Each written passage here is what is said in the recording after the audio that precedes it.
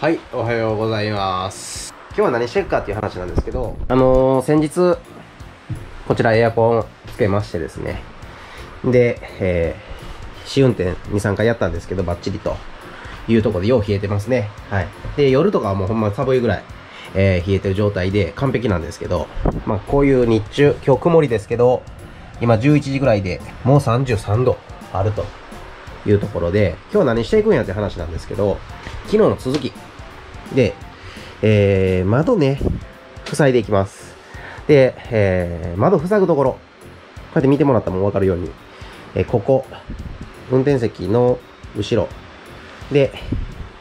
この段ボール挟まってるところ、両サイドあるんですけど、ここは塞ぎません。で、一番後ろ、ベッドのところ、この2面を塞いでいきます。で、これ何してあるんや、言うたら、えーここもはめ板と同じように貼っていくんですけど、まあ、はめ板の下地をね、ここに、えーつけてあるという状態。で、同じくこちらも、はめ板の下地をつけてあるという状態です。で、えーここの窓に関しては、あのここ一応、食堂に、食堂っていうか、食卓になる予定なんで、まあ、あの、景色見えた方が絶対いいと思うんで、景色見えるように窓を開けときます。で、こっち側はキッチンになるんですけど、キッチンの前もやっぱり、えー換気扇ここにある言うても、やっぱ窓開けたりしたいんで、まあ本来やったらね、えー断熱のアクリル窓とかもいいんですけど、まあ今回は、まあ予算とか、えー作業もね、あのーちょっとまあ、もしアクリルやるような僕やったら、ちゃんとやっぱやりたいんで、外でやるにはやっぱり、ちょっと、不向きかなと思ったんで、アクリル窓は今回やめといて、えー、規制の、純正の窓を活かしてね、やっていこうかということで、段ボールはめてるところは窓を残していきます。で、えー今日は今からですね、ここ一本ちょっと、を足すと、こういう作業していきます。はい。まあざっくり言うと、ここがシャワー室、キッチン、ベッド、食卓っていう感じですね。完成見えてきましたでしょうかではやっていきます。クーラーつけてね、昨日一日この中でこの下地やってたんですけど、やっぱりだいぶマシ。えー昨日空調服もいらんぐらい冷房効いてたんで、空調服やったら寒かったんで脱いでたんですけど、やっぱ、持つべきものは空調服、もとい、まあエアコンですね。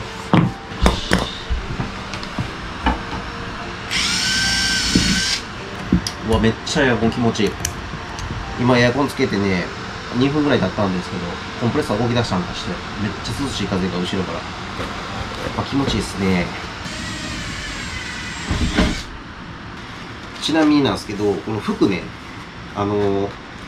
提供してもらったやつも良かったんですけど、ちょっとサイズが L サイズが欠品してるってことでもらわれへんかったんで、あの、自分でバートルの L 買ってきて、このファンだけ提供品で、バートルの服に提供品を組み合わせるというね、超ダサいことをしてるんですけど、その辺はちょっと多めに見ていただけたらと思います。まあ、できたファンもね、あのバートルか、メーカー揃ってる方が良かったんですけど、まあ、そんな予算もあるわけもないんで、服だけバートルで。下地プラス、傾斜が一律になるように、ラウンド綺麗にやりたいから。うん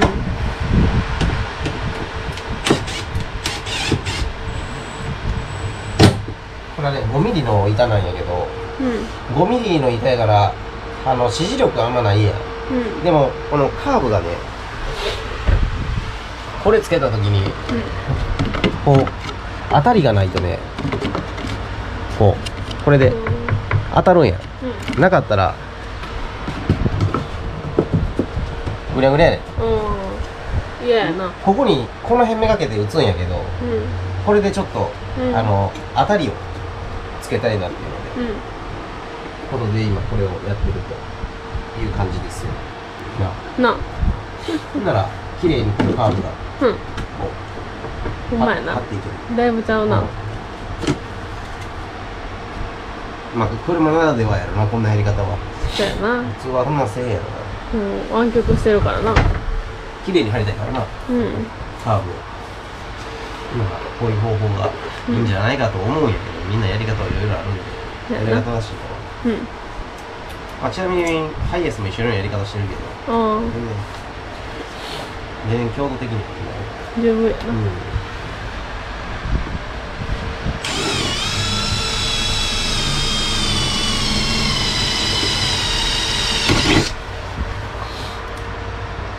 ホース外してつけてやるのめんどくさいのこれな。部屋にあんねんけど。こ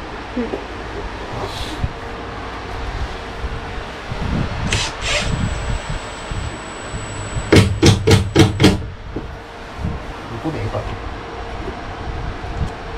ないいと思うけどな。ここでええか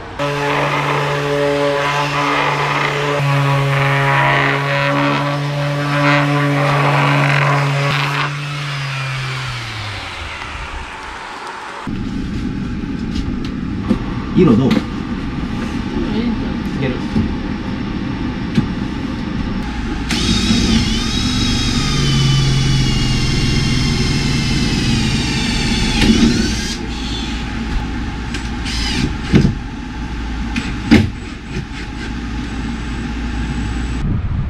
はい、今ね、えー、ちょっと上のところ、こういう感じで晴れました。まあ、色合いとしてはね、あの、イメージしてる感じでは、この白とナチュラルとブルーっていうこの3色を、えー、まあ、あの、まあメインカラーというか、まあもう普通のベースカラーにして、基本的にはこの3色以外使わへんっていう縛りでね、やっていこうかな、みたいな感じでは思ってます。まあ一部ちょっとね、あの、どうしても使わなあかんところが出てくると思うんですけど、例えばこのシルバーとか。まあまあ、それは、ちょっとネジとかの色は、ちょっと勘弁してもらって、あと、こっち側、もうこんな感じで、えー、ナチュラルでね、えー、いきます。で、今カットして、この窓枠のとこ嗅いだりしてね、えー、固定しました。えー、あとまたね、この枠については、あの、窓枠、ええ感じにこしらえていくんで、それはまあ後々やっていくとして、続きね、ここ、後ろ貼っていきたいと思います。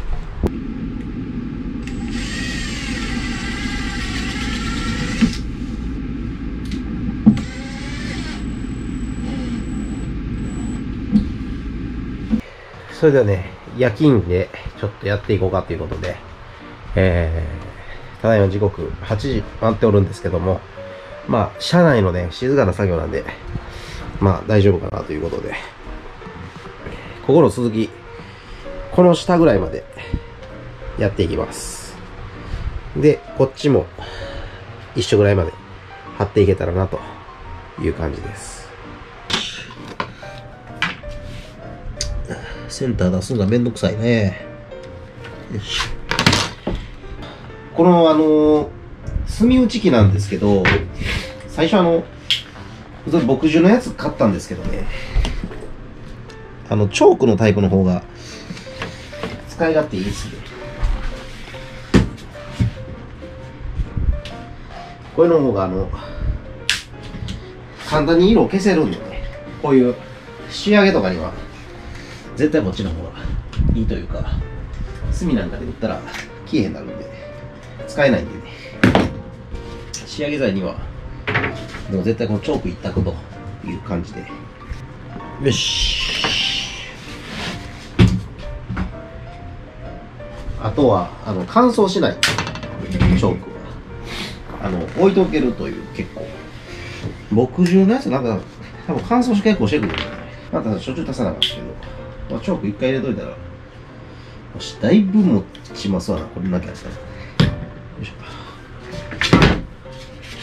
一応ね、あのー色は、まあ、さっき言ったようにナチュラルなんですけど、一応これ表面だけちょっと軽く、あの、サンダーでかけてる状態で、まあ、後々ちょっとオイルかなんかで、綺麗に塗っていこうかなというふうには思ってます。まあ、あの、最初上白で、後ろ青で、なんで、もう白のがいいんかなと思ったんですけど、意外とやっぱナチュラルの悪くないですね。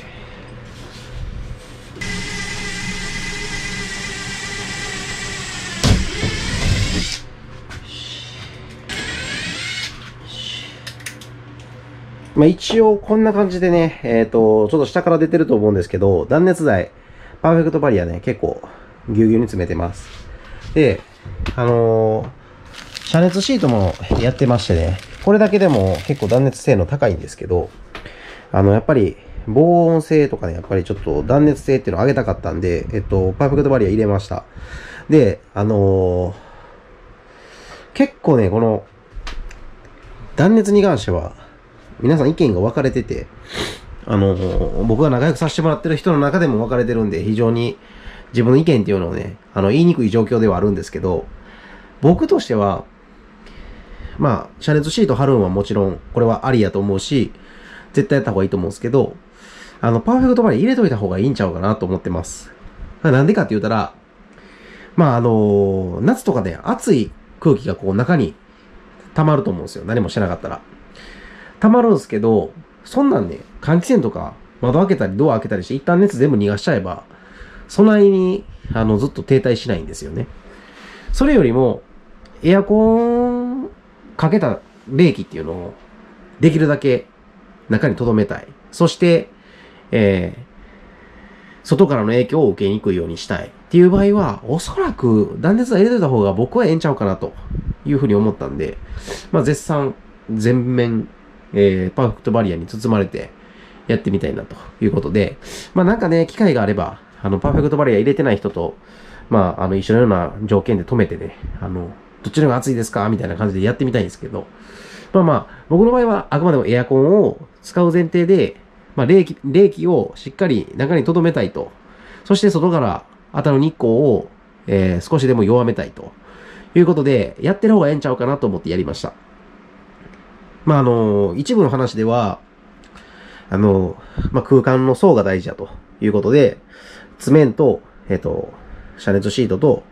えーまあ、木、はめた木とか、まあ、内張りとの間に空間を設けた方が断熱性能としては高くなるという話もあったりもするんですけど、まあ、ハウスメーカーとかね、住宅でもそうなんですけど、まあ、おののハウスメーカーとか、あの、によってもね、あの、断熱の施工方法っていうのは変わってくるんで、まあ一概にね、どれが正しいってなかなかやっぱ難しいんかなと。条件、状況、環境、いろんなことに、えー左右されるんかなと思いました。はい。というわけで、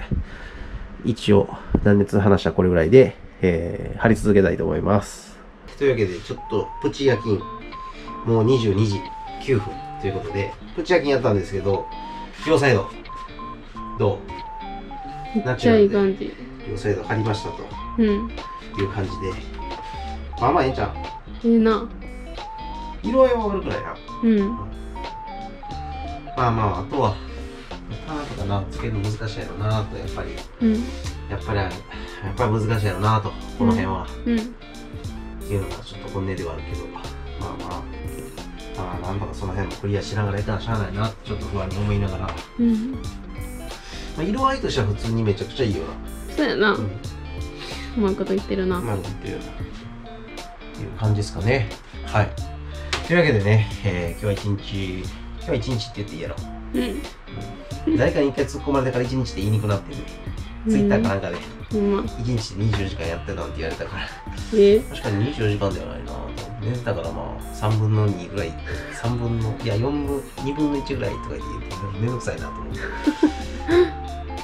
まあまあでもとりあえずまあそれは冗談として今日は一日頑張りました。お疲れ様でした。また明日以降うん。頑張っていきたいと思います、はい